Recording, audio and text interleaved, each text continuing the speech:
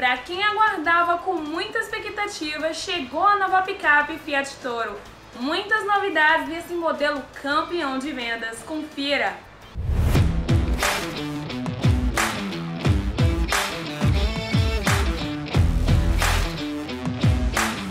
O que era bom ficou ainda melhor. A nova picape Fiat Toro chegou com inúmeras novidades, mais beleza, muita tecnologia, conectividade e nova motorização. É uma segunda geração? A montadora não bateu o martelo, mas o programa Bahia Motor acha que sim. Essa nova picape Fiat Toro é uma nova geração, principalmente pelas grandes mudanças apresentadas no modelo. E essa segunda geração da bonita picape certamente vai manter a Fiat na liderança desse segmento por muito tempo. Os números estão aí para comprovar.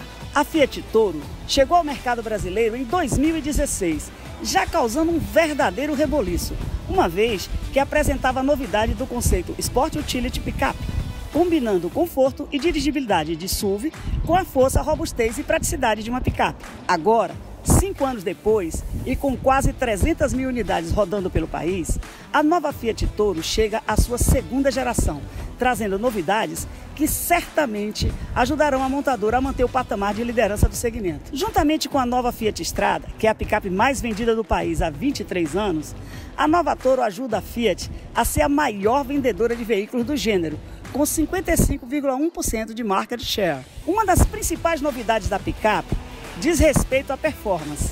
A nova Fiat Toro estreia o motor TurboFlex mais moderno, potente e de maior torque produzido no Brasil. São 185 cavalos e 270 Nm de torque com etanol. Traz ainda versões com motor flex aspirado e diesel com câmbio automático de 6 ou 9 marchas. Referência em design, que vai além do seu segmento, a nova Fiat Toro traz um desenho ainda mais moderno na dianteira que inclui o logo script e a Fiat Flag, novo capô, grade, rodas e bulbar integrado ao para-choque. A picape também ganhou interior completamente renovado, com novo painel de instrumentos e console central.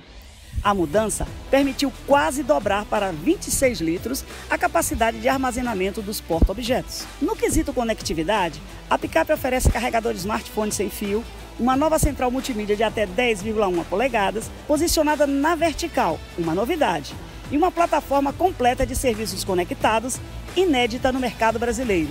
De forma remota e com toda a conveniência, o usuário passa a contar na palma da mão com seu celular, por exemplo, com serviço de manutenção, segurança e emergência, navegação, assistência virtual e entretenimento no veículo.